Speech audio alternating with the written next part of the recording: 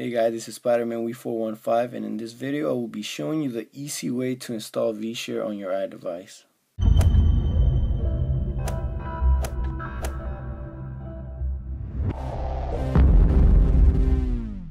The first thing you're going to want to do is open Cydia, go to Manage, Edit, Add, and type in repo cydia.com forward slash and you're going to add that source. Once that's complete, you're going to go to search and you will type AppSync. And depending on what firmware you're on, you will select either AppSync 4.0, AppSync 5.0, and as you can see I have AppSync for 6.0. So depending on what firmware you have, you will make selection from there and you will install that. Once AppSync has been installed, you will open up Safari and you will do a search for vShare.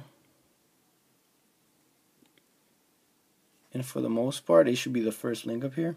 Just make sure that it's v.appvv.com and you will open that up.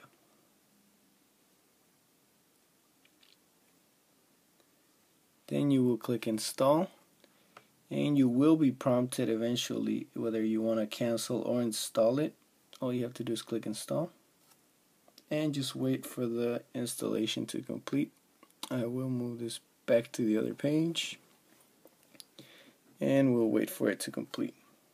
So once the installation has completed you will see vShare on your screen.